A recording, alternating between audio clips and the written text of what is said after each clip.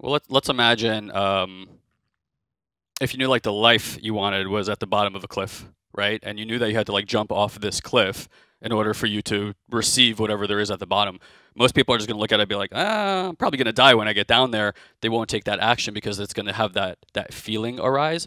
I think if if we can imagine that no matter what action you took in this life wouldn't kill you, wouldn't destroy your relationships, wouldn't this, wouldn't that, you are much more inclined to be like, all right, well, I'm going to go give that a try. Mm-hmm. Where where mostly people don't even it's forget they don't they don't even look for their walls. It's not even they're not even seeking the limitation. They're like ten feet back from even moving up against that limitation. And in business, if you're gonna play that game, if you're gonna be an entrepreneur, that's kind of the curse and the gift of it is that it's gonna show you your limitations. Mm-hmm. It's gonna show you your walls. It's your wanting and ability to step forward and be like, all right, I'm gonna like rub elbows with this brick wall, see what I'm made out of, seek for new ways to kind of get over it, right? Get over it and find what's on the other side of it. And that's a con- consistent pattern as entrepreneurship. Any entrepreneur knows you're not comfortable.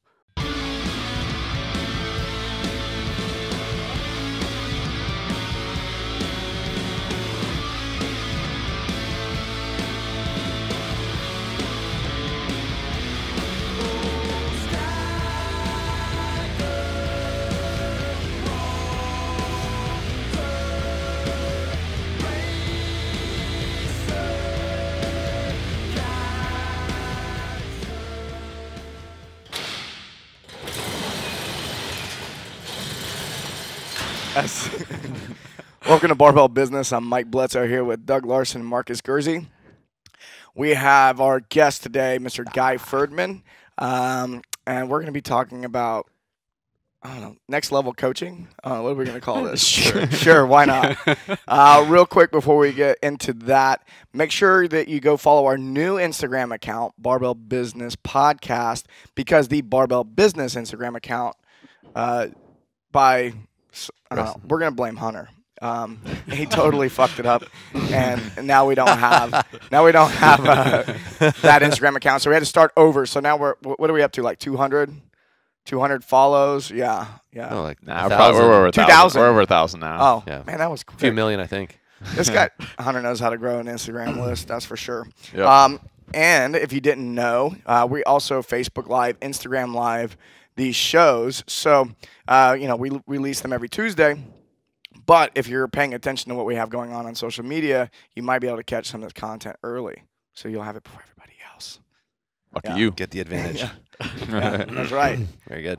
Um, yeah, we're gonna get into some next level coaching, I guess. Sure. I don't know. Uh, one of the things we're gonna be doing is we're launching a coaching program soon. You're launching a coaching program, and one of the things that I uh, think is really lacking in strength and conditioning and CrossFit world is a lot of times people think about coaching as a very one-dimensional thing. It's movement, it's program design, um, and then um, and then working in business myself, I realized wow, there's business coaches, there's there's life coaches there's like all these different flavors of coaches. And then after after being exposed to a lot of different styles of coaching i start learning oh the principles all really the same. Coaching at its core is this thing and i think a lot of us are missing out on um, how to get to the core of what's happening with whether they're an athlete or a business owner or something like that what's at the core of what's keeping them from achieving what it is that they're trying to achieve and you come from you've you've done a lot of stuff and you used to be an internet marketer. Yeah, I, I mean, I continue to be one. You're still, Yeah. I mean, we're all marketers. yeah, yeah. Um, if you're running a business, you have to be. Absolutely. Um, but you've been studying personal development for a long time, and you've been in coaching. But you're catch, coaching people at a different. Uh, what are what are people's goals when they start with you if you're coaching them? Yeah, I think what you guys have a lot of like specificity in what you're trying Right. to achieve. For me, it's a lot more um, like mastering a dance. It's, it sounds difficult to, for you to sell what you have as a coach. It is. because for us, it's like, oh, you want to lose weight. Mm-hmm. Like, so if I'm a fitness coach, it's like, oh, you want to lose weight, you want to get bigger, stronger, you want to accomplish. I know that there's probably a dozen tasks or less, probably like two or three, Right. that people are trying to get better at. So I can get very niche there. And then what you're getting for people is much broader. Absolutely. You, have, you guys have like a super defined goal. Like my my oriented mission in life is a transformation of 100 million people. That can mean a lot of different things to a lot of different people. Overall, what I'm interested in is just human peak performance. So people just stepping into uh, different communication patterns, relationships that matter to them and actually work. Um, them moving towards what they're passionate about, impacting other people's lives. Uh, I'm for, and I'm sure at some level you guys are too, at just transforming social aspects of people, how they operate in the world. So I agree with you. I do tend to attract a lot of entrepreneurs. Right. I don't think any entrepreneur, whether you're brand new to the game, whether you're considering it, the moment you get in, you're going to immediately be struck with, okay, the growth of my business is stagnant. Why is it stagnant? And if you really, it's pretty easy to correlate it to your own belief systems, actions you're not willing to take, you know, fears that you've probably dealt with a lifetime, and the business is just going to push everything up right to your face for you to deal with. And I've stepped in for a lot of those people and helped them. So you're right in the essence of I don't have clear defined goals with people necessarily always, but the people who come to me, generally speaking, they're playing some kind of game, which is like a business, or they want to like change a relationship, or they want to move, or they want to move towards a passion. And I'm very clear that whenever I create something with them, there is a specific measurable result that they can look out in reality and say, oh, wow, I can see I'm actually progressing. I see I'm making movement. I feel different. I'm speaking different, all that kind of stuff. Yeah, business owners, I, I think, are attracted to that kind of work specifically because they, they are recognizing that I'm the only thing holding this back. And people who start businesses tend to be more friendly to change in the first place. Yeah. Uh, just because to start a business is a big change. You, Mhm. you usually leave some what what's perceived as a safe job of a nine to five gig or something like that, and you're stepping out and starting your own thing. So usually, I, I find that people who own businesses are just better at taking on risks than the average person. Mm-hmm. And at some point, what's holding that person back is is fears and beliefs. What what is uh you've worked with so many people. How many? What do you see as like the number one? Is there like a, a number one thing that you start with, or the, the most common thing that you start talking to someone? You're like, oh, you're you have trouble with this. Yeah. Uh, so uh, for a long time, my personal belief has been that there's like a disease on the planet, and the disease is not heart disease. It's not any of the shit that, we hear about. It's a matter of self value and self worth. Everybody's gone through some experience when they were young. Something happened. You raise your hand at school. You thought you had the answer. Everyone laughed at you, and immediately starts a conversation of I'm no good, or I'm bad, or I'm unlovable, whatever that circumstance was for you. And you start operating from that place, and you never break free. And what that does is it creates a filter through which you view your life from, and everything comes through that filter. As you get older and you start like failing at different aspects of life, you go, well, I'm not going to do that anymore. That's not safe. That's not safe. That's not safe. So, like, if I could give you an analogy, and I think you guys will relate to this, if you're, if like a kid is born and you think like this is a being of infinite possibility, right? And you're a being, and let's say that being is like a castle with thousands of room rooms, and every room stands for a different way that you could be when we're young, it's like we give a grand tour of the castle over and over again. And at the end, we ask for feedback. We're like, hey, what do you think of this place that I have here? The person's like, well, it's all really great, but there's that one room in the back. It's fucked up. You got to do something about that. So you keep giving the grand tour, you keep getting that feedback on it. And eventually you're like, okay, maybe there's something wrong with this room. So you kind of walk in there, you're like, all right, we'll repaint it, get new furniture, we'll feng shui. And then after I get it all right, I'm going to put it back on the tour.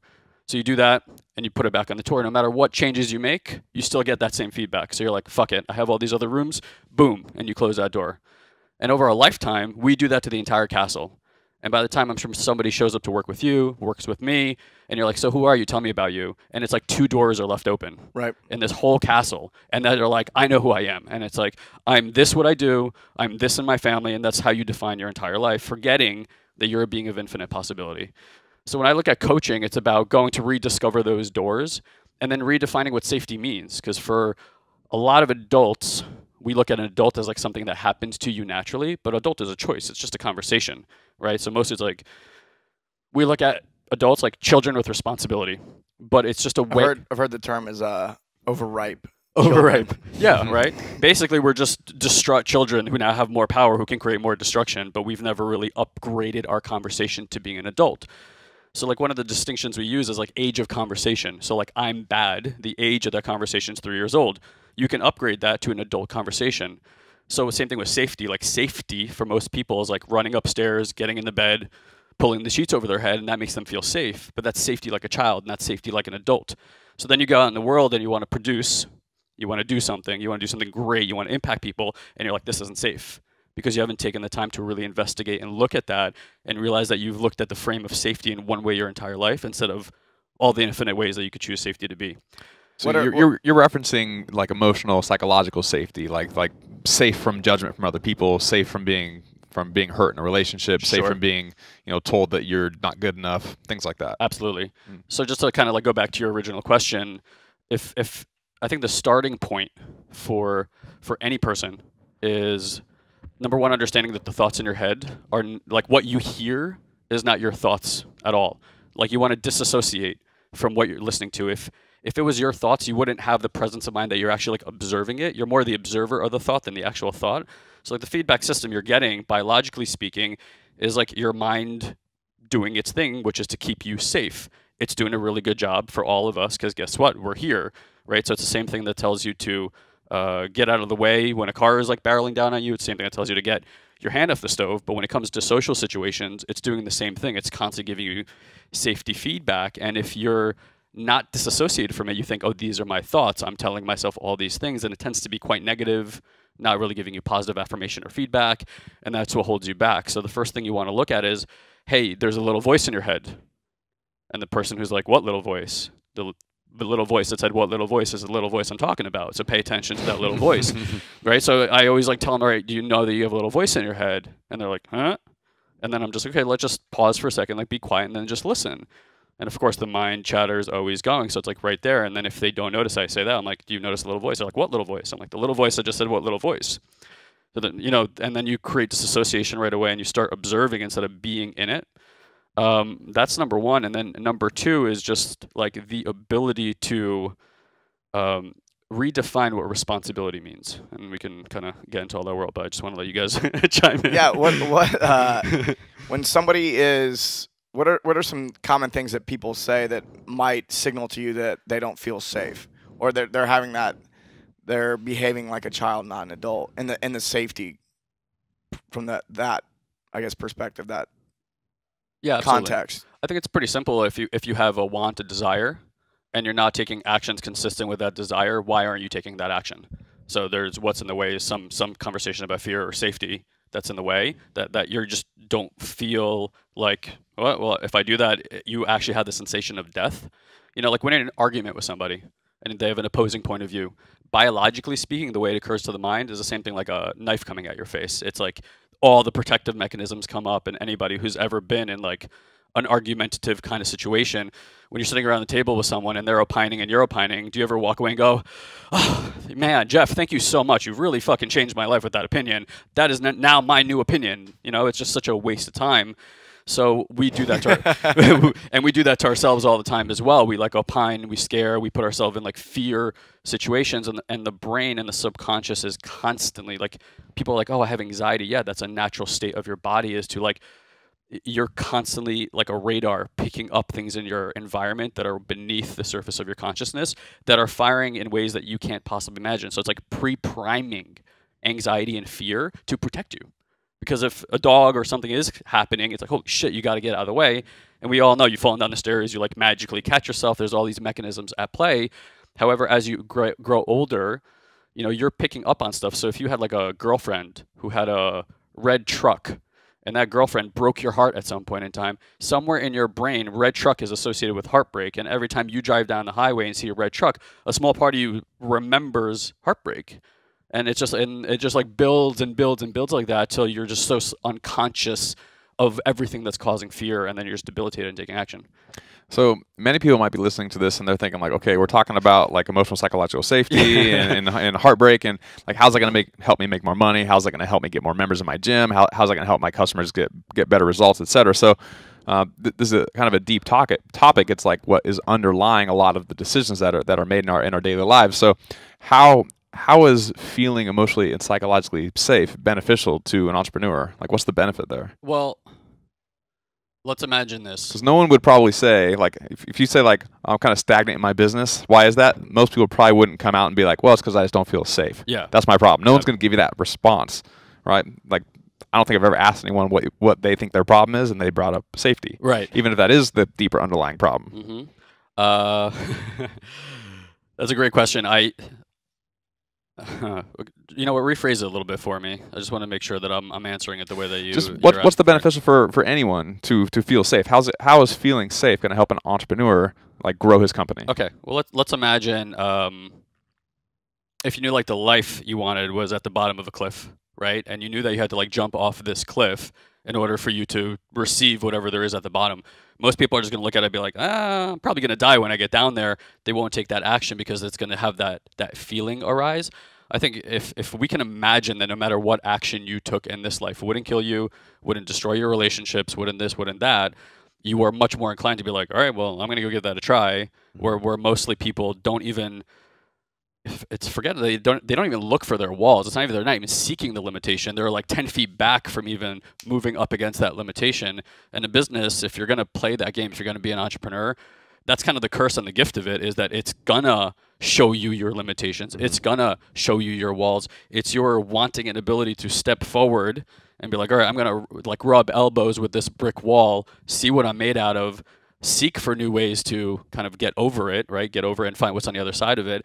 And that's a con- consistent pattern as entrepreneurship. Any entrepreneur knows you're not comfortable. You kind of have to get comfortable with being uncomfortable. Yeah, something I've noticed is um, you'll have kind of like two stages of awareness. It's like there's that first stage of like I'm I'm to do this. Uh, they have the courage to kind of like start the business and and get out there, put themselves out there.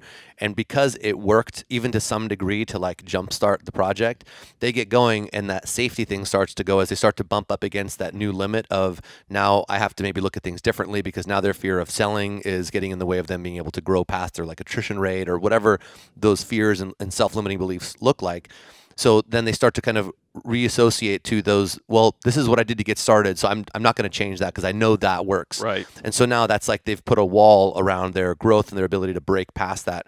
And that safety piece is a conversation that we often have where they don't realize that it's not that, oh, my lead flow went down. That's why I'm not able to grow. And they start like making kind of excuses around it when really, if you can just take it back to, well, let's look at how you're approaching and how you're viewing things, first of all, and now how that applies to what you're looking to accomplish, they don't line up at all. And you have to kind of go back to that factor of like, look, it wasn't safe to start it in the first place. You did it anyway, and look, it worked. Now let's take that same uh, that same strength and carry that into this next stage and saying there's going to be some new things you're going to have to do again that don't feel safe. They don't feel great. They're scary. But look, it's going to be okay anyway. What's the worst? Someone's going to say no. Right. And great, then you're going to learn from it and do it a different way. And, and the same way that you started it the first time. You told me it took you like 10 times to get the money. You had to ask 10 different people to get the money to start your business.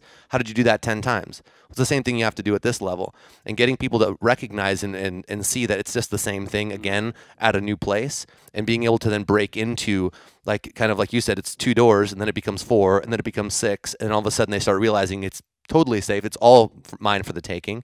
And being able to kind of guide someone through that and build that courage. Yeah, I think that's a really good point. Uh, you know, with breakthrough work, usually what pops you, like what people call consciousness or awakening state or flow, the first time you experience that, whatever the source of that was, that pain, because trauma is the impetus for human consciousness. Okay, there's like nothing happens without human trauma. We we are trauma, but we're also heart and open. So anyway, my, without getting too woo woo on that part of it, it's like if you um,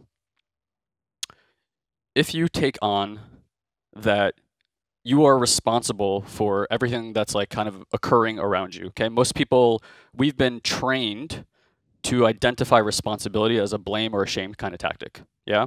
So like in society, if you look at it, politics, like something goes wrong. Okay, it's all about finger pointing.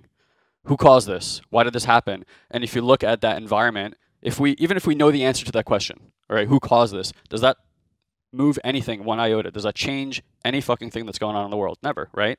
So with with yourself, it's the same thing. If you're in a state of like dealing with responsibility, let's go blame or guilt type of thing, you're just basically like what guilt and blame does is it makes us feel like we're learning a lesson, right? But what it really does is it closes us off. So now I come to you and I say, "Hey man, don't worry, that's it's not as bad." You go, "Well, leave me the fuck alone. I'm already punishing myself," which means you're not listening for other possibilities that could be arising in conversation, in experiences with other people. And if you guys look for yourself, I don't know about you, guilt and shame never taught me a fucking thing in this world. It just it kept me exactly where I was, and then I just repeated my mistakes over and over again. Kind of like what you were saying, right? It's like puts you into that loop. So for me, it's super important. Like if we look at the way language is structured, it's all about creating distinctions, right? One thing distinct from another, mostly like your relationship to it. So if you have a relationship to responsibility in that way. What you're saying is I'm committed to basically staying put where I am. Okay. So if we again we're looking at the age of conversation or how to redefine words to empower you so you can consciously create what you want in your life.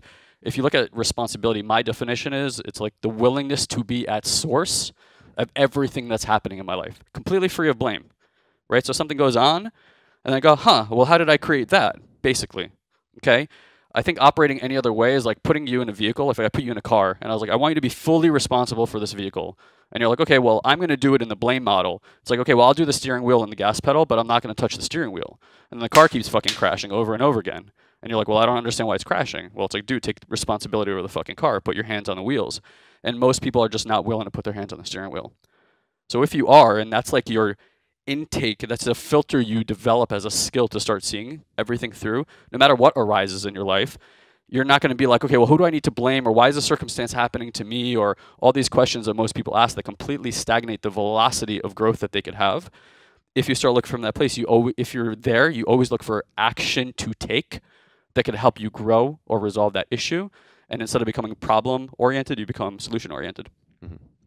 So as Okay. Gonna say, as a coach, like having the the understanding that these are kind of some of the underlying um, factors with someone's success, like the the intellectual understanding of that that that's happening is is radically different than actually getting a person to actually change the way that they think and believe. Uh, how do you actually facilitate that that that transformation or that change in somebody? Super good question. So, yeah, I, I information by itself makes no difference for anybody.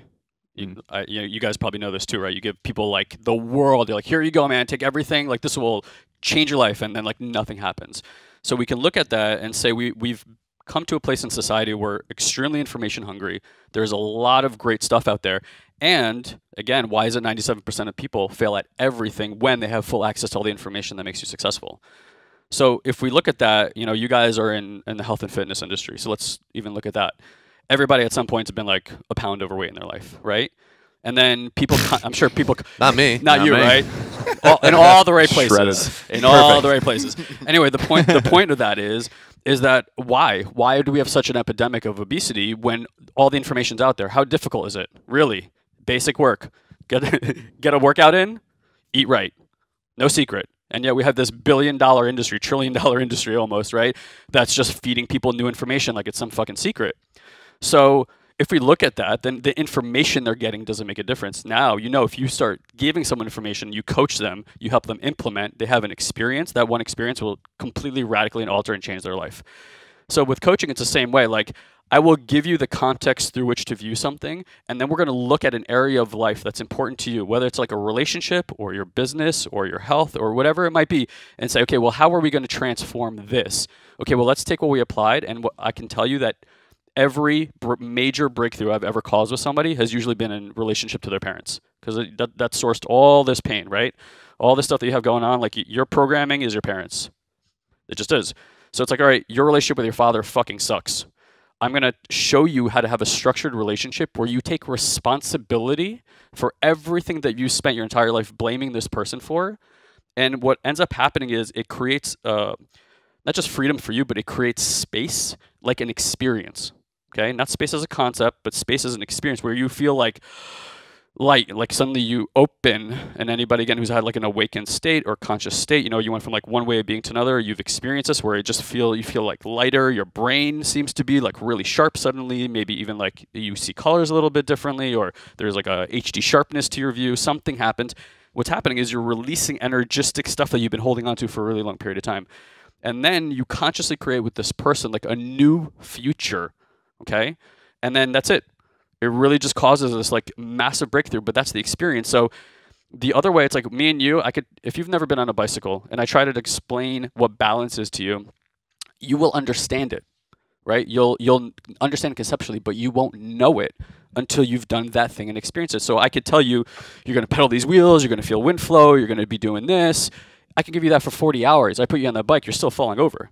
But the moment you get balance that can't be taken away from you. That's experiential. So when in our in our the way that we coach, it's the same thing. We we give people that experience, and then once you have that, it's like you see behind the veil, and it, it really is like popping the pill. You just can't go back after that. uh, changing someone's mindset and changing someone's beliefs incredibly incredibly powerful on, on the other side of it how much how much do you focus on changing just they're simply changing their environment or the people they're around like if someone is a bartender at a pizza parlor and they're overweight Mhm. like simply just getting someone to not be a bartender at a pizza parlor and getting them to you know, to be the front desk person at a CrossFit gym, where now all of a sudden they're around people that you know they just have a healthier lifestyle. Like the expectation is that you work out every day, et cetera, et cetera. They'll kind of naturally gravitate towards that way of being, and then they'll probably lose some weight and become a lot healthier just simply because they change the people they're around and their environment. So, so beliefs and and, and thoughts and, and whatnot radically important. But how much do you do you um, kind of counsel people on the other side of the house with the environment? Okay. Uh, also, great question. I so I want to just be really succinct with our language. Uh. 'cause it's really important. We're, uh, uh, like for me, transformative work is not changing what people are doing. Mhm. Everything has to come from an internal choice. If I'm changing, it's as if I'm pushing an idea on you. I'm trying to control, manipulate, cajole you to think what I believe, and everybody's truth is different. As, a, as an educator and a teacher, I think what we see is people pushing ideas on people and then wanting them back as if that's the right way to do it. For me, like a proper teacher is like, I don't tell you what to see, I just show you where to look so you can find your own truth, right? Gotcha. So if I'm helping you transform and you made that choice down the line, I don't think that, you know, in the beginning, it's like, go change your entire environment. That's going to scare the fuck out of somebody because it's going to elicit all this anxiety and questions about safety. So, like, you know, from the moment me and you meet, we shake hands, right? Let's mm-hmm. like look at how we socialize and how we build relationships with one another. We start asking each other questions, like we're doing right now, right? We're all getting to know each other. I start telling you stories, but what these stories tell you, it's an upload and download of information to one another. And what these stories elicit is what you can say to me, what you can't say to me. There's all these little lessons in the background. I'm not directly telling you, but you're smart enough, socialized enough to understand, oh, fuck, guy, doesn't like that. Oh, he cringed when I said that. Oh, his body changed when I did that. You're picking up on all these things. And what's going on is I'm now responsible, right? Again, looking from that point of view, I'm responsible for training you guys on how to deal with me like how to consciously deal with me. And what we do is we set up our environment to be exactly the way that we want it to so that our identity never gets called out. Everybody in your life agrees with who you are. Is there anybody around you that's like, I fucking hate you? You know, like they, they all agree with your identity. And the, the silent agreement in society is if you don't call me out on your shit, I won't call you out on mine. So your friends are people that don't call you out on your shit unless they're really good fucking friends, right? So if we do that, and the funny part is we do this whole socialization game, and then we start being an argument with the way that it is. We don't like it, except you're the one that's responsible for having trained everyone to operate that you, but uh, operate that way with you. But that's just the way your identity works. It like creates, and then it's upset. It creates, and then it's upset. So when we're doing transformative work, part of your responsibility is as you transform is to actually go out there and actively tell your environment that something has shifted inside of you, right? So let's say, and this is why a lot of transformative work doesn't work for people because they don't go and share their transformation. And, that, and I'm not talking about like preaching or evangelical bullshit, the stuff like that, uh, or not bullshit, depending on what you believe.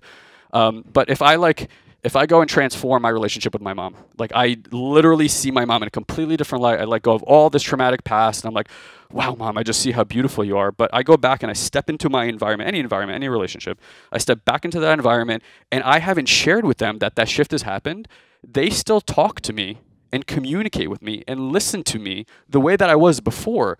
And this is what happens to people all the time. Your power is in people's listening. Except ultimately, what we do is we create agreements. Again, silent spoken agreements with people, and we break them all the fucking time. And what ends up happening is they lose, you lose trust with them over time. But what you're really losing is they're listening. And then they put all these filters over the way that they listen to you. And even when you're saying great shit, they're like, what a fucking asshole. So then you step back into this environment when you're transformed, and there's zero agreement for your transformation because you haven't shared it. And they still talk to you in all the old communication patterns. They still look at you with all your old communication patterns, and you go, fuck, I must not be transformed. So one of the things you want to get is we have a certain and specific way that we uh, interact with reality, right? So our five senses are one way that we interact with reality and gauge whether it's true or not true. Another really important one is we uh, understand reality through agreement. If everyone agrees on it, it must be true. But history has taught us over and over again that that's not a good test for reality. At some point, the Earth was flat. Everyone agreed. Not true. At some point, the Earth was center of the universe. Everyone agreed. Not true, right? So in your life, all these people you set up, this environment, is all just a bunch of agreement about who you are. And again, if you transform yourself and there's no new agreement that you've put in place and now have integrity with, it's really, really difficult to transform your life because you're constantly going to get feedback from this environment that you're not, and you will be the average of the people you spend time with. I want to I want to just talk about transformation. Just using that word at all, uh, I think some sometimes I would say a lot of the the transformation. A lot of people are listening to this show when they think about transformation, they think about like a physical transformation. Mhm. Like uh, my physique changed, Mhm. and they think about all the things that need to change and what they're doing to make that happen. And I think that was like a distinction you were getting close to, and maybe I'll just say it differently yeah, please do. uh, is that we can change what people are doing and we can manipulate things in their lives that you can manipulate their environment you can manip- manipulate all these things to change a behavior and that to me is the long way around and getting to getting getting someone to be different Yes. and so, uh, in a in the work that you do, one of the things I've noticed is you kind of skip the doing part. Like we're not going to try to create an environment and create a program where it's going to take years for you to do these things and change these habits. What you are going after is changing how someone is, their being. Being, you yeah. change the being, and then all the doing automatically starts falling into place. I don't know how many times I've seen somebody's being change, and once they're being changed, all the things that they were trying to do in the first place, you know, put down the donut, uh, drop the job that wasn't working for them, Mhm. uh, going to the gym consistently goes from being a chore to being easy. And these are all things from that just happen from being different, or even the training program they were trying to do. Once they become a different person, then they realize I didn't even want to do that kind of training in the first place. I want to do this the whole Right. time. And so, but I I thought that I needed to look this way. I thought I needed to behave this way. I thought I needed to be able to perform these things for people to like me. Now that I'm, that now that I've decided that I'm, th- this is who I really am. This is what I want to be. Then all of a sudden, like a lot of these choices, which used to be a chore, just become easy. And and self-evident, right? It's Right. like almost like just because again, Oh, I didn't even know I wanted that, Right. but now I do. because you're living in a, in a different paradigm of possibility now before like most people are restricted to like one or two paradigms that's all they see the world through it's like no motherfucker you're an infinite being with infinite ways to be and in every one of those there's different cases for action like if you want to know why you're getting the results you're getting look at your intentions like it's however you are in life and your way of being is giving you the exact results you want like the honest truth of it like to be perfectly blunt if you are not getting results in life you're either not doing the work and lying about it or you're doing the wrong fucking work and you're lying about it it's pretty much what it comes down to right? So again, why aren't you taking that action? And that's such a good point. I think most people are trying to change their life through willpower. And willpower is like a car that's running on fumes. It's fucking running great, but it you go 120 miles per hour. That doesn't mean the engine's not about to fucking explode though. So it feels great when you're driving that fast, but boom, done. And that's like what I think most people are looking for is like these pops, quick fixes, all that kind of stuff. Again, like a light bulb is brightest the moment before it stops working. It just poof gives out that energy burst and done. I would much rather you have a consistent stream than just one pop and then you're back into darkness, right? So it's it's really well stated. We, you know, Western philosophy works with do, have, be. What do I need to do to have the things that I want to become the person that I want to be? Yeah. Eastern philosophy is be, do, have. So what, like, how do I shift my being? That being leads me to doing different things, and then I have the things that I want. So I'll ask you guys a simple question: Do any of you guys ever wake up in the morning and go, "Today I'm going to be a man"? Does that ever occur to you? Nope. Never, right? Now, when you get in a car, do you ever think to yourself, "Today I'm going to be a driver"? Nope. Right? You just you just you are that so naturally. Now, when you're being a man, you take a, actions a man takes, you get the results a man gets. You get in a car, you become a driver, you take actions a, a driver takes, you get the results a driver gets. And in those ways, it's so simple and natural. Yet in every other place in our life, when we're like, "Well, I want to be successful," or "I want to be happy," it's honestly, I know it's, it sounds so simple. It's simple when you get it like an experience. It's not easy to get there because of all the resistance you have against believing that it could be that effortless.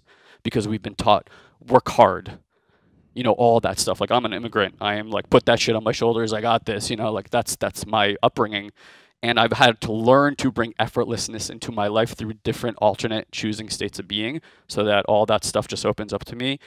And I'm I'm with you. Like when you're doing the willpower thing, it's like trying to push through, make things happen, and that's all the world of more, better, different.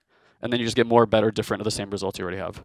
And then you're just constantly frustrated, right? If you're in the world of of being, it's going to be like a pull towards doing actions, and you're like, this is effortless. I love doing this stuff. I'm passionate about what I'm doing. And you know, entrepreneurs who have kind of broken through that are highly successful. Yeah, because there's a difference between being an entrepreneur who feels like they're always pushing this stone up a hill, Mhm. and then an entrepreneur who's waking up and just like, man, life is good. Yep. It's easy. I'm gonna do the things I want to do, and at the end of the day, I'm not burnt out. I'm just happy. This is fantastic, and that's possible. Mhm. Uh, I want to take a break real quick, and when we come back, dig into maybe how to be different Yeah, sure. without having to do all the doing. Sure. I'm Ryan Bucciantini, owner of KDA CrossFit in San Diego. Um, what I was struggling with most was definitely getting athletes in the door. Um, there's a ton of gyms in the San Diego area, and it was really, I was having a tough time really differentiating myself from the kind of local populace of gyms in the area. So I reached out to Logic, um, went through their kind of initial breakdown of the business, really revamped and went through where we were lacking. Ended up redoing the website, going through our entire email campaign, and it really set us up to start to harvest leads a little bit more organically and allowed us to connect with our athletes our potential athletes on a much more thorough basis. There, I definitely had some reservations when I started researching Logic. Um, I just wasn't sure what the like return of investment was going to be. I've gone through programs like this before that I wasn't 100% really satisfied with. Um, but after sitting down and talking with Markus, talking with the rest of the team, I decided to kind of take the jump, and I haven't looked back since. It's been we've doubled doubled our membership in less than three months. We went from about 50 members to just under 100 at this point. So the biggest benefit to our growth, uh, it's allowed us to really expand our community. Um, from a financial standpoint, obviously it's pretty fantastic to grow. The gym has just been significantly more fun with more people coming in and out the door on a daily basis.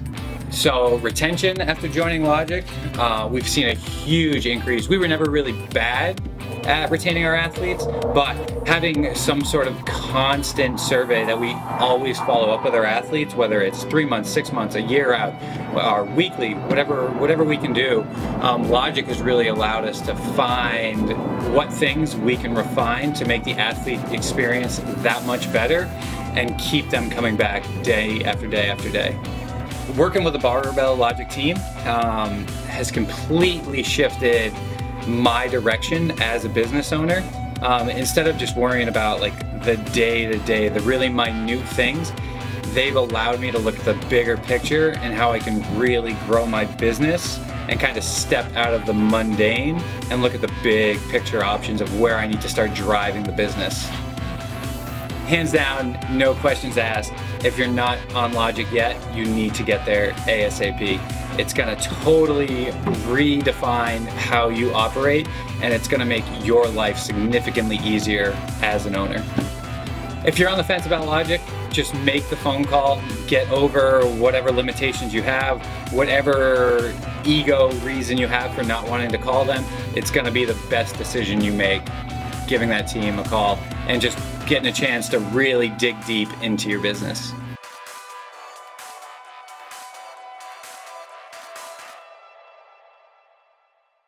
And we're back with Guy Ferdman talking about uh, the universe, essentially. No. it's usually where the conversations go. yeah. Yeah. Uh, where, where did we leave off, actually? Uh, We were wanting to find out more about. Man, Oh, we, sh- yeah. we totally should have discussed this before we got back. Oh, it's we, Saturday. no, we, we started. yeah, it is Saturday. Um, we were talking a little bit about. well, you were talking about being different. Yes. And the difference between a lot of us focus uh, on. Actually, have this written on my mirror. I don't know if you've seen it. Uh, be greater than uh, your environment, Mm, your body, and time. mm, And so these are these are this is some that that specific statement is someone I something I picked up from Joe Dispenza, but which is in the vein of a lot of things that we're talking about. mhm. Uh, and so that I do see the two ways of creating change for somebody is you have to change uh, their time and body, um, not time. You change their environment and body. Changing time is Magic. it's magic. we won't get into that. uh, but the the only reason we won't talk about that, I think it, it might just be a, It's ethereal and it's not going to give Yeah. practical yeah, it's usage. it's not gonna be it's not gonna be as helpful. yeah, it's more it's more like quality of life we're talking about than getting results That's in a, a- specific area. that's a that's a deeper philosophy. Yeah, absolutely. Um, and so uh, we were talking about changing the environment, or or kind of like uh, I talked to a lot of people in fitness. It's like okay, I want to get the deeper change, and we can start from the outside in, and that's super possible. hmm Uh, but uh, what we're diving into is how to turn from the inside out. And the I, I think that in the future, I think the future of strength and conditioning coaching, the, the future of health and fitness coaching, is teaching people how to be. Um, what do, what uh what do you see that stands in the way of people changing how they are, and and in their being? And I've heard comments like um, like I make these comments sometimes, and people kind of hmm you know, step back, which is I'm a different person or I want to be different. Yes. Or, um, and then people are like, oh, is that true? Do you really want to be different? And like, it's a scary thing. Yeah, yeah, or yeah. why would you want to be a different person? And the way, and you were talking about before is where, um, like who I hang out with and who I, uh, and the conversations I'm having now uh, are different than what they were five years ago. Mhm. I'm, if I were to try to hang out with myself five years ago, I wouldn't even enjoy it. Absolutely. it would be it would be boring. Uh, i get well it would be boring i'll just say that. Um, I'm so happy I didn't know you back then. yeah. Only five years ago you would have loved five years ago me probably. But uh, the, the whole idea of being different how do you get people to basically skip the doing part? Because everyone is so focused like you were saying. Yeah. western philosophy is shaped how we do everything how our education system if you grew up in the west then this is exactly how you think. There's there's not you can't be like oh you know not me. It's like no you were raised in the system hmm that that exists and this philosophy and this is just how this is how all of our, our language um, has formed and it's creating our reality. And uh, and the idea of being different before getting the result is just because we tend to externalize i'll be happy when or Right. if i have this thing Right. um, then I'll be happy. And I'm and but until then, I'm gonna be completely miserable. So how do we? What's the trick to skipping uh, the experience part? what What's the trick to being and then and then calling in the experience versus trying to force the experience? yeah. Well, Magic bullets, we want them. Yeah, the magic bullets, um, enemas for sure. Uh, the the um, the trick is that there's no trick. Uh, you know, I don't think that there's a shortcut to anything. I actually made a post the other day about um, like people want to travel a mile. We only sell shortcuts here, guy. You only sell that's what I shortcuts? brought. That's what I brought you in for. I am going to do a really, really bad job then. Um, I, I uh, look, I, I think you know, coaching. If we look at coaching, right, it's ultimately it is a shortcut. In, in essence of it, it's a guidance system. Like I know that what's taken me 15 years to master, learn, whatever you want to call it. Um, if you spend time with me, you'll probably get to the same understandings and ways of being and operating in probably like two or three years. Mhm. Like with with a lot of exposure to that kind of languaging and operating, that's nothing to sneeze at, you know. And I think one of the things people don't appreciate when you get a coach. So like my rate uh, easily can be above two thousand dollars an hour for coaching. Okay, and for a lot of people, they're like, "Holy fuck!" But what you really got to look at it, that's like you're saying I'm worth that much to invest in myself. You're not getting just an hour of my time. You're getting 15 years of my experience for that $2,000. And what that one hour conversation can do can have you break through in areas that you've been stagnant in for decades. And probably areas that you've been stagnant in that you didn't know you were stagnant in. Absolutely. I, I don't know how many times I've worked with a coach where I'm like, this part of my life improved tremendously, and I didn't even know that was possible. Right. Yeah. So if you, I think people are very short-term oriented. Again, we live in like a doing, quick fix, uh, download the fucking app, get the search. Like we're just an on-demand society now, which is extremely restricting in a lot of ways. You know, if you're driving down a highway, let's say, a lot of people are that are bad drivers get in accidents because they only stare at the car in front of them. They look at the brake lights and they have very little time to respond what's going on. A good driver is looking way up the road, 10 cars deep. They see the brake lights and they see the trail and they're planning ahead, they're coasting, you know, they have all the time in the world to do stuff. So you're not in a reactive state like most people are. And that's approach to people's life. So they want to get a mile, but they don't want to fucking walk an inch. And I did the math on it. It's 63,360 inches for a mile.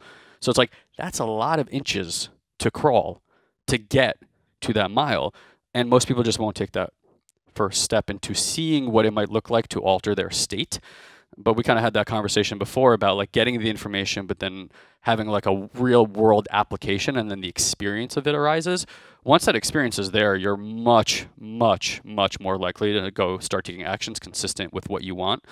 And then just to go like touch back on what you said about being different, eh, for me that's a fucking gift. There's there's we've I think we've spent a lot of time in society standardizing what a human being is, and that's why there's a lot of shame and guilt in this world. Like if you look at a child, they're free and they're they're popping in between all these different states. Like I'm happy, I'm sad, I'm this and that, right? Nothing gets stuck. They're like nothing gets stuck on that. And They then say stuck. They don't get stuck in a single state or a single emotion. yeah, and There's like no so- way that they think that they're supposed to be. exactly. There's They're just not a, like, oh, I felt sad. I, I shouldn't feel sad. Yeah. So now I'm going to. Shame it, like explain it. Why did I do this? Like they don't do that. But now they have this underlying sadness that's always kind of like sitting there. well, not necessarily because if you look at a child, they go like, "I'm," they're crying their eyes I'm out. talking Next, about as an adult. oh yeah, yeah, yeah. as We an adult, we like to suppress it. absolutely. We don't want to show it because that's not how we're supposed to be. And then now there's just this underlying sadness that sticks. Like the energy of that that emotion gets, it's it's stagnant. Yeah, we well we stuff happens and we resist, right? And when you resist, it's like putting up a hand against another hand. It's like okay, if you put up your hand, I got my hand. Like shit ain't going anywhere. But if I stop resisting, your hand goes through. Yeah. You, you get back in flow. You get back in velocity. So it's really about just like constantly in surrender. And a child is always in surrender. What I think ends up happening is around seven years old, the mind kicks in logic. There's no logic up until then. And then it starts that logic part starts understanding the so, the social standardization of human, and you start judging your past immediately by you know all the things you've already done that are not uh, what a standard human does. You start making yourself wrong. That's why we start medicating kids right away to fucking standardize them, like act the way we're telling you to act, versus just being this infinite I want to fucking do whatever I want type of being. So like being different is a, such a fucking gift in this world.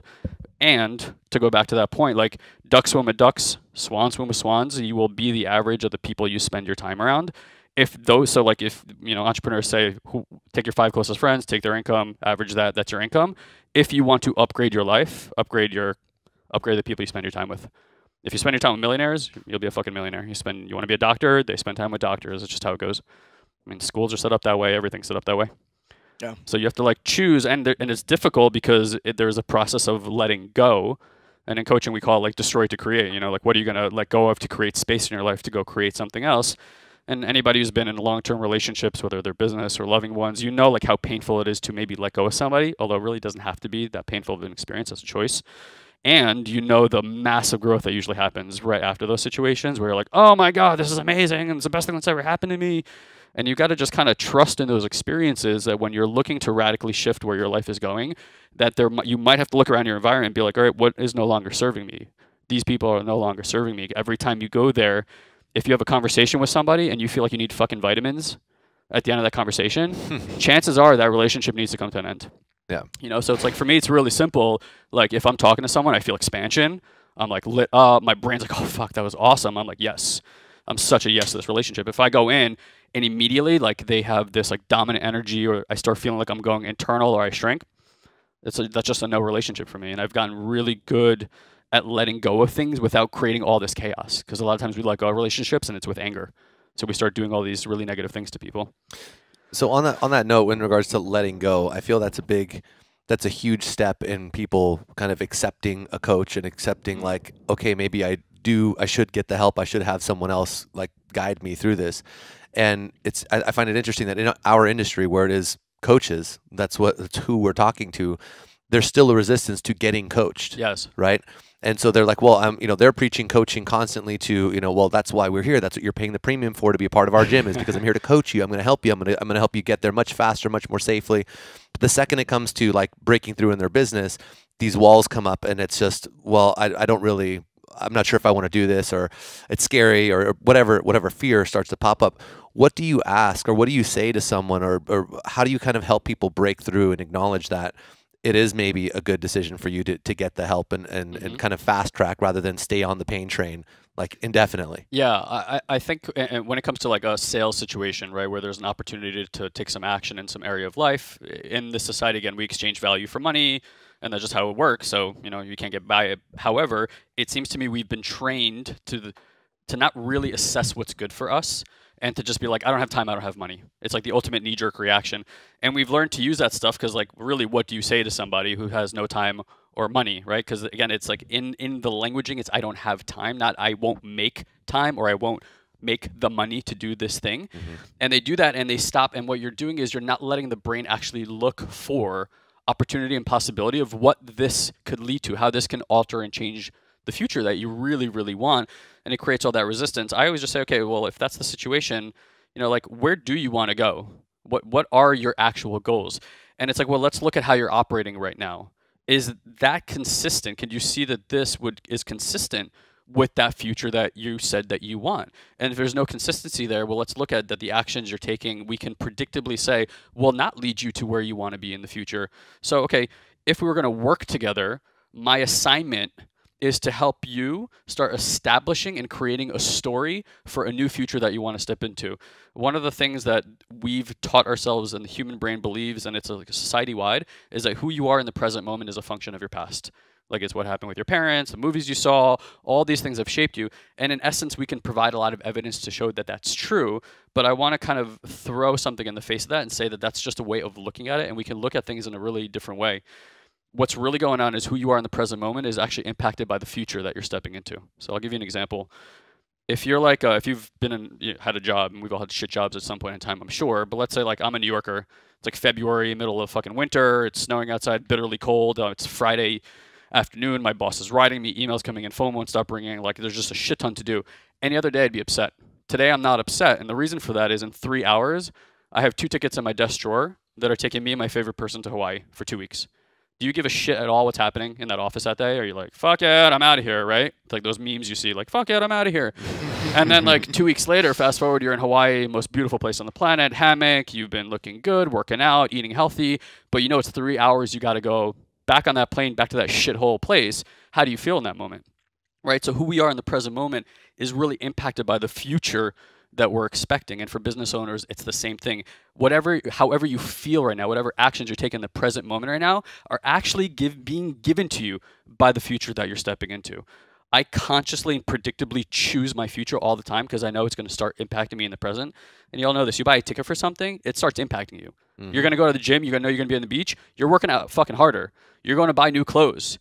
You're doing this. You're doing that, right? Like there's actions you take. That's the pull that Making we're looking for, right? Instead of how do I make it happen? And we were talking about like limitations on the wall. So most people operate like, well, I want to throw my hat over the wall. I want to risk something. But first, let me figure out how I'm going to get the hat back, which is completely cutting off ingenuity. Because if you really want to get your fucking hat back, you want to get over that wall, throw the hat over the wall, and you will then put yourself in a mode, be impacted by the future, that in the present you actually figure out how to go get that hat back.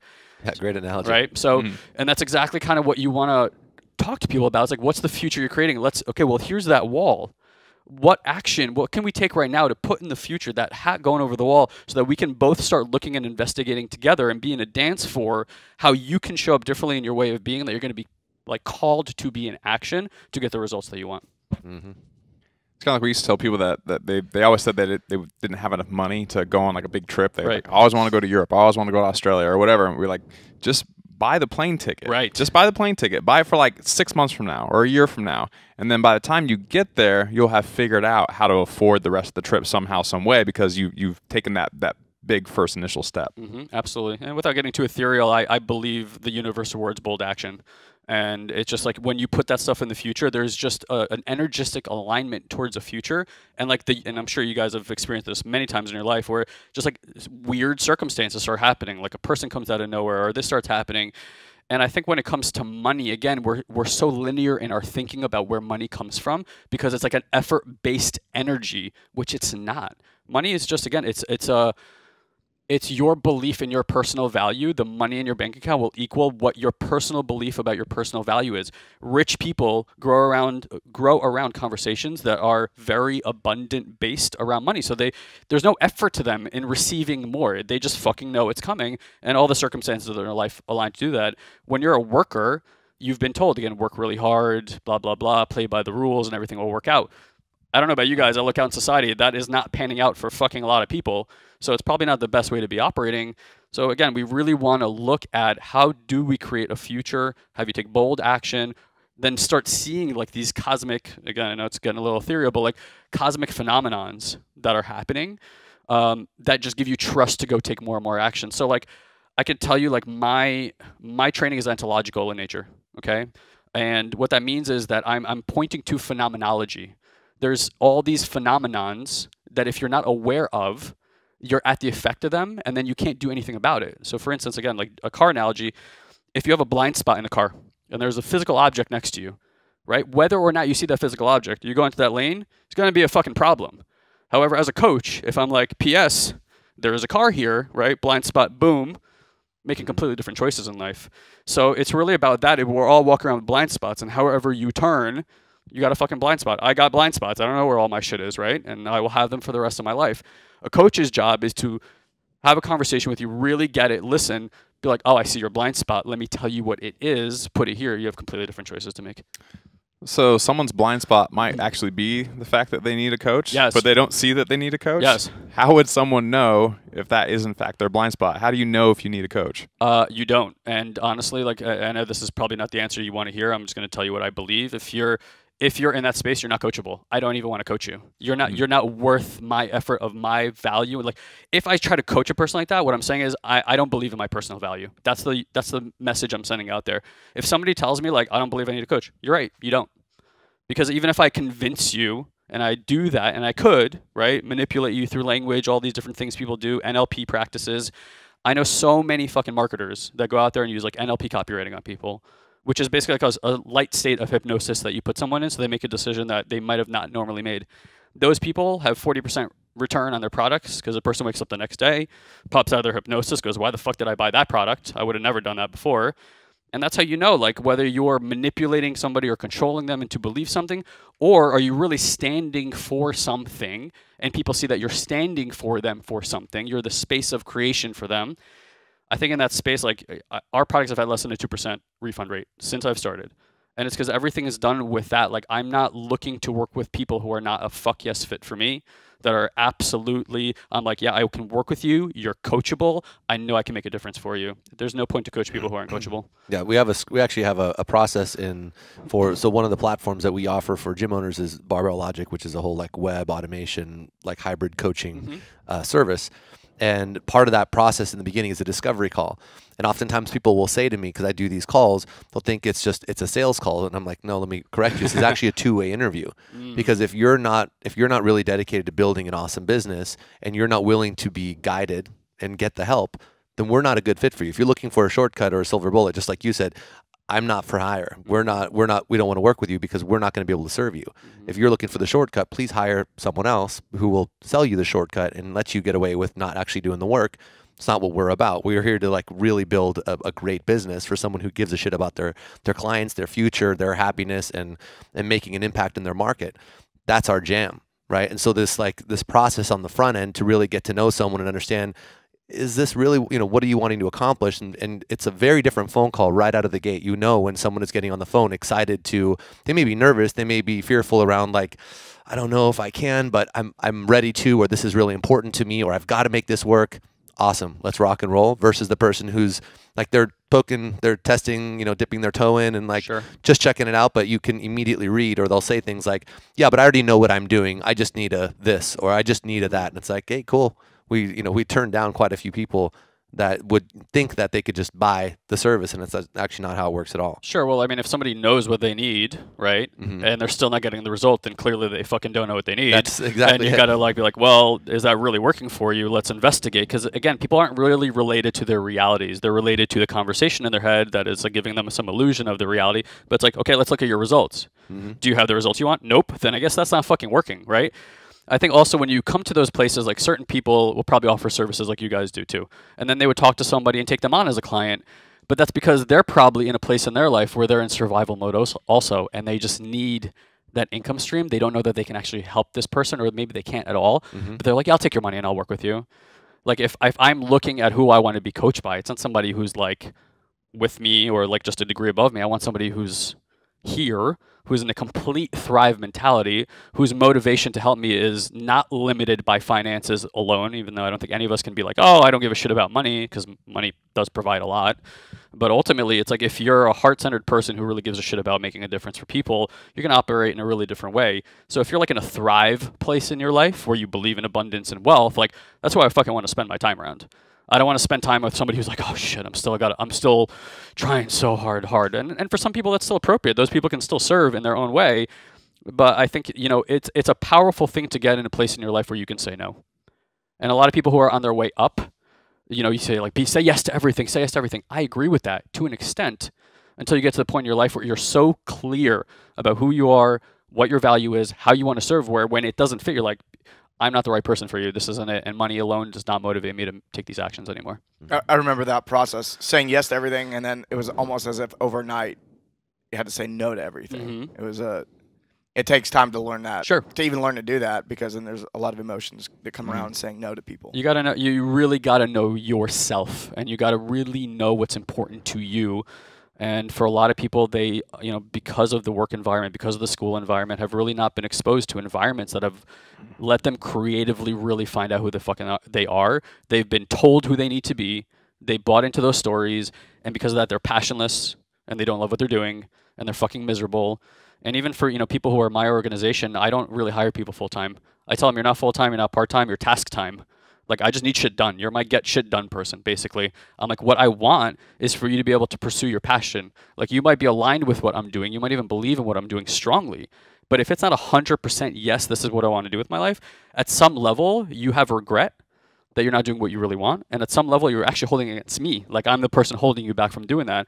I would prefer you do tasks that I need you to do and then go work on what you want. Because I want a person who's living in their zone of genius, in their passion, is a fuck yes to life at all times, and then brings that energy into my company and, and helps me build something versus like, I need you to do something and they're like, you know, like sitting behind the computer miserable.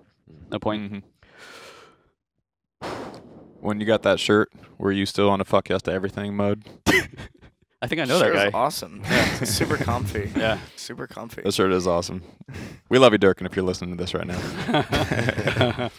Yeah, I think we'll wrap up here. Uh, if people want to find out more about what you're up to, where should they uh, Uh, find you? Yeah, two websites, uh, satoriprime.com, uh, S-A-T-O-R-I-P-R-I-M-E.com, or you will have it all.com.